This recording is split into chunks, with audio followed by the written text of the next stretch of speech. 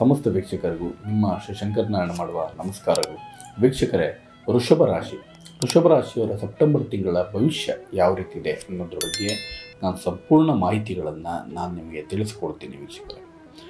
ಏನಪ್ಪ ಅಂತಂದರೆ, ಪ್ರಥಮವಾಗಿ ನಾವು ಕೃಷಿಗೆ ಸಂಬಂಧಪಟ್ಟಂತೆ ಅವರಿಗೆ ಸಾಮಾನ್ಯ ಪ್ರಗತಿಗಳನ್ನು ಕಾಣ್ತಾ ಬರ್ತಾ ಇರ್ತವೆ. ಈ ಸೆಪ್ಟೆಂಬರ್ ತಿಂಗಳಲ್ಲಿ ಸಾಮಾನ್ಯ ಪ್ರತಿಭೆ ಯಾಕಂದರೆ ಸಾಮಾನ್ಯವಾಗಿ ಅವರು ಎಲ್ಲವೂ ಸಹ ಕೃಷಿಗೆ ಎಲ್ಲವೂ ತೊಡಗಿಸ್ತಾ ಇರ್ತಾರೆ. ಅದರಲ್ಲೂ ಸಹ ಹೆಚ್ಚಿಗೆನೂ ಇಲ್ಲ, ಈ ಕಡೆ ಕಮ್ಮಿನೂ ಇಲ್ಲ. ಸಾಮಾನ್ಯವಾಗಿ ಪ್ರಗತಿಗಳನ್ನು ಕಾಣ್ತಾರೆ ಈ ಸೆಪ್ಟೆಂಬರ್ ತಿಂಗಳಲ್ಲಿ.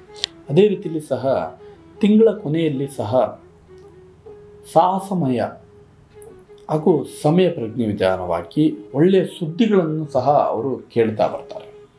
ಮಾನಸಿಕ ಸಂತೃಪ್ತಿ, ಅಭಿವೃದ್ಧಿ ಕಡೆ ಅವರಿಗೆ ಗಮನಗಳನ್ನು ಕೊಡುತ್ತೆ. ಯಾರಿಗೆ? ಋಷಭ ವೃಷಭ ರಾಶಿಯವರು ಈ ವೃಷಭ ರಾಶಿಯವರಿಗೆ ಅಭಿವೃದ್ಧಿ ದೊರಕುವ ಕಾಲ ಇದಾಗಿದೆ.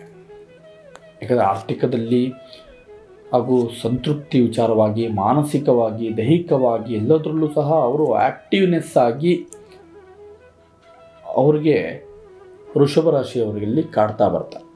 ಅವ್ರಿಗೆ ಯಾವುದೇ ಕೆಲಸ ಮಾಡೋಕ್ಕೋದ್ರೂ ಸಹ ಇವತ್ತು ಮಾಡೋ ಕೆಲಸ, ನಾಳೆ ಮಾಡೋಣ, ನಾಳೆ ಮಾಡೋ ಕೆಲಸ, ನಾಡಿದ್ದು ಮಾಡೋಣ ಅನ್ನೋ ಒಂದು ಆಲಸ್ಯ ಮನೋಭಾವ ಇಲ್ಲಿವರೆಗೂ ಅವರಿಗೆ ವೃಷಭ ರಾಶಿಯವರಿಗೆ ಕೊಡ್ತಾ ಬರ್ತಾ ಇರುತ್ತೆ.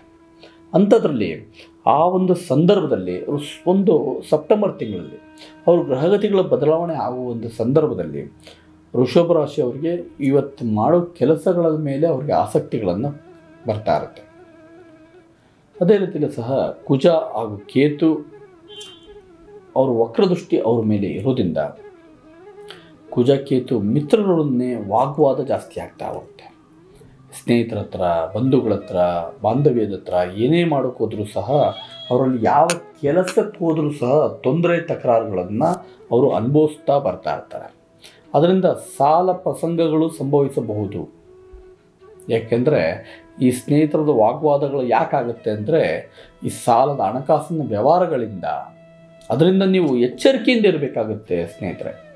ಯಾಕೆ ಅಂತಂದರೆ, ವೃಷಭ ರಾಶಿಯವರಲ್ಲಿ ಮಿತ್ರರನ್ನೇ ಗಲಾಟೆ ಆಗುತ್ತೆ. ಯಾಕೆ ಆಗುತ್ತೆ? ಯಾವ ಕಾರಣಕ್ಕಾಗುತ್ತೆ ಅಂತ ನಾವು ಯೋಚನೆ ಮಾಡಿದ್ರೆ, ಕುಜ ಕೇತುಗಳಿಂದ ಅರ್ಥ ಮಾಡ್ಕೊಳ್ಳಿ. ಕುಜ ಹಾಗೂ ಕೇತು. ಈ ಕುಜ ಕೇತುಗಳಿಂದ ಒಂದು ಸ್ನೇಹಿತರಿಂದ ವಾಗ್ವಾದಗಳನ್ನು ನಡೀತಾ ಬರುತ್ತೆ. ಹಾಗೂ ಸಾಲದ ಪ್ರಸಂಗಗಳನ್ನು ಸಂದರ್ಭಗಳಲ್ಲಿ ತೊಂದರೆಗಳನ್ನು ಅನುಭವಿಸ್ತೀರಾ? ಯಾವ, ಎಲ್ಲಿವರೆಗೂ ಅಂತಂದರೆ, ಇದೇ ಸೆಪ್ಟೆಂಬರ್ ತಿಂಗಳ ಹುಣ್ಣಿಮೆಯವರೆಗೂ ಸಹ ಸೆಪ್ಟೆಂಬರ್ ತಿಂಗಳ ಅಮಾವಾಸ್ಯೆ ಆದ ನಂತರ ಹದಿನೈದು ದಿನದ ಕಾಲದೊಳಗೂ ಈ ವಾಗ್ವಾದಗಳನ್ನು ಬರ್ತಾ ಇರುತ್ತೆ. ಹುಣ್ಣಿಮೆ ಆದ ನಂತರ ಇಪ್ಪತ್ತೆರಡು ಇಪ್ಪತ್ತ ಮೂರನೇ ತಾರೀಕು ಆದ ನಂತರ ವೃತ್ತಿ ಸಂದರ್ಭದಲ್ಲಿ ಶುಭ ಸುದ್ದಿಗಳು. ಯಾಕಂದರೆ ಅವರ ಯಾವುದೇ ಕೆಲಸ ಕಾರ್ಯಗಳಲ್ಲಿ, ಹಣಕಾಸಿನಲ್ಲಿ, ವ್ಯವಹಾರದಲ್ಲಿ, ಉದ್ಯೋಗದಲ್ಲಿ ಯಾವುದೇ ಕೆಲಸಕ್ಕೆ ಹೋದರೂ ಸಹ ಅವರಿಗೆ ಒಳ್ಳೆಯ ಒಂದು ಸುದ್ದಿಗಳನ್ನು ಅವರಿಗೆ ಬರುತ್ತೆ. ಆದರೆ ಪ್ರಯತ್ನಗಳನ್ನು ಪಡಬೇಕಾಗ್ತದೆ. ಇವಾಗ ಸ್ನೇಹಿತರ ಹತ್ರ ವಾಗ್ವಾದ ಮಾಡಿದೆ ಅಂತ ಹೇಳ್ಬಿಟ್ಟು ನಾವು ಸುಮ್ಮನೆ ಮನೇಲಿ ಕುತ್ಕೊಳೋದು.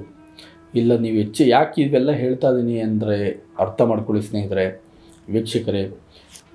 ಈ ಒಂದು ಸಂದರ್ಭದಲ್ಲಿ ನಾವು ಎಚ್ಚರಿಕೆಗಳನ್ನು ಮುಂದೆ ನಿಮಗೆ ತಿಳಿದ್ರೆ ನೀವು ಜೋಪಾನವಾಗಿ ಹುಷಾರಾಗಿರಬಹುದು ನೀವು. ಅದೇ ಥರ ಈ ದ ದಶಮೂಲ ಗ್ರಹದ ವಿಚಾರವಾಗಿ ನಿಮಗೆ ವೃಷಭ ರಾಶಿಯವರಿಗೆ ಕುಜ ಹಾಗೂ ಕೇತು ಶಾಂತಿಗಳನ್ನು ನೀವು ಮಾಡಲೇಬೇಕಾಗ್ತದೆ. ಯಾಕೆಂದರೆ ಅದರಿಂದ ನಿಮಗೆ ಕ್ರೋಧ, ಕೋಪ ಎಲ್ಲವೂ ಸಹ ಜಾಸ್ತಿ ಆಗುತ್ತೆ. ರಕ್ತದ ಒತ್ತಡ ಜಾಸ್ತಿ ಆಗುತ್ತೆ ಟೆನ್ಷನ್ ಜಾಸ್ತಿ ಆಗುತ್ತೆ, ಮಾನಸಿಕ ಚಿಂತೆಗಳು ಜಾಸ್ತಿ ಆಗುತ್ತೆ ವೀಕ್ಷಕರೇ. ಅದರಿಂದ ಕುಜ, ಕೇತು ಶಾಂತಿಗಳನ್ನು ಮಾಡಬೇಕಾಗುತ್ತೆ. ಎಲ್ಲಿ ಮಾಡಬೇಕು? ಕಾಳಾಸ್ತಿಯಲ್ಲಿ ಮಾಡ್ಬೋದು. ಅರ್ಥ ಮಾಡ್ಕೊಳ್ಳಿ. ಸರ್ಪಕ್ಕೆ ಸಂಬಂಧಪಟ್ಟ ಸುಬ್ರಹ್ಮಣ್ಯ ದೇವಸ್ಥಾನಗಳಲ್ಲಿ ನೀವು ಮಾಡ್ಬೋದು ಈ ರೀತಿಯಲ್ಲಿ ನಿಮ್ಮ ಒಂದು ಈ ಒಂದು ಸರ್ಪಕ್ಕೆ ಸಂಬಂಧ ಗ್ರಹಗಳನ್ನು, ನೀಚ ಗ್ರಹಗಳನ್ನು, ಶಾಂತಿ ಎಷ್ಟು ನೀವು ಮಾಡ್ತಾ ಬರ್ತೀರೋ, ಅಯ್ಯೋ ಬಿಡಪ್ಪ, ಒಂದು ವರ್ಷದಿಂದ ಮಾಡಿದೆ. ತಿರ್ಗಾ ಒಂದು ವರ್ಷ ಆದಮೇಲೆ ತಿರ್ಗಾ ಮಾಡ್ಬೋದಾ? ಮಾಡಬಾರ್ದ ಅನ್ನೋ ಗೊಂದಲಗಳು ಬೇಡ. ನೀವೆಷ್ಟು ಸಲ ನೀವು ಶಾಂತಿಗಳನ್ನು ಮಾಡ್ತಾ ಹೋಗ್ತಿರೋ, ಅಷ್ಟು ನಿಮ್ಮ ಅಭಿವೃದ್ಧಿಗಳನ್ನು ನೀವು ಆಗ್ತೀರಾ. ಯಾಕಂದರೆ ಅಡ್ಡಿ ಆತಂಕಗಳು ಬರ್ತಾ ಇರುತ್ತೆ. ನಿಮ್ಮ ಬಟ್ಟೆ ಮೇಲಿರೋ ಗಲೀಜಿದ್ದಂಗೆ ಅವೆಲ್ಲ. ನೀವು ಎಷ್ಟು ನೀವು ಅದನ್ನ ಸ್ವಚ್ಛತೆ ಮಾಡ್ತಾ ಇರ್ತೀರೋ, ನಿಮ್ಮ ಜೀವನದಲ್ಲಿ ಒಳ್ಳೆಯ ಸಂದರ್ಭಗಳು ಒಳ್ಳೆಯ ಸಮಯಗಳು, ದೈವದ ಅನುಗ್ರಹಗಳು ನಿಮ್ಮ ಮೇಲೆ ಖಂಡಿತವಾಗ್ಲೂ ಬರ್ತಾ ಇರುತ್ತೆ ವೀಕ್ಷಕರೇ. ಈ ಗ್ರಹಕ್ಕೆ ವೃಷಭ ರಾಶಿಯವರಿಗೆ ಸುಬ್ರಹ್ಮಣ್ಯನ ದರ್ಶನಗಳನ್ನು ನೀವು ಮಾಡಲೇಬೇಕಾಗ್ತದೆ. ಅರ್ಥ ಮಾಡ್ಕೊಳ್ಳಿ. ಯಾಕಂದರೆ ನಿಮ್ಮ ಸಮಯ ಸಂಪೂರ್ಣವಾದ ಈ ತಿಂಗಳಲ್ಲಿ ತುಂಬ ಒಂದು ಒತ್ತಡಗಳಲ್ಲಿ ಜೀವನ ಮಾಡಬೇಕಾಗುತ್ತೆ. ಆ ಒತ್ತಡಗಳನ್ನು ನಿವಾರಣೆ ಮಾಡಿಕೊಂಡ್ರೆ ಯಾವ ಸಂದರ್ಭದಲ್ಲೂ ಯಾವ ಸಮಸ್ಯೆಗಳು ಸಹ ನಿಮಗೆ ಬರೋದಿಲ್ಲ. ಅರ್ಥ ಮಾಡಿಕೊಳ್ಳಿ. ಮುಂದಿನ ಹುಣ್ಣಿಮೆಯಲ್ಲಿ ನಿಮಗೆ ಒಳ್ಳೆಯ ಸಮಯ ಬರ್ತದೆ ಅಲ್ಲಿವರೆಗೂ ತಾಳ್ಮೆಯಿಂದ ಇರಿ. ಈ ಒಂದು ಯಾವುದೇ ವಾಗ್ವಾದಕ್ಕಾಗಲಿ, ಗಲಾಟೆಗಾಗಲಿ ಕಿರಿಕಿರಿಗಾಗಲಿ ಮನೆಯಲ್ಲಿ ನೆಮ್ಮದಿ ಹಾಳು ಮಾಡ್ಕೊಳ್ಳೋದಾಗಲಿ ಯಾವುದೇ ಕಾರಣಕ್ಕೂ ಮಾಡ್ಕೋಬೇಡಿ ವೀಕ್ಷಕರೇ. ಅರ್ಥ ಮಾಡ್ಕೊಳ್ಳಿ.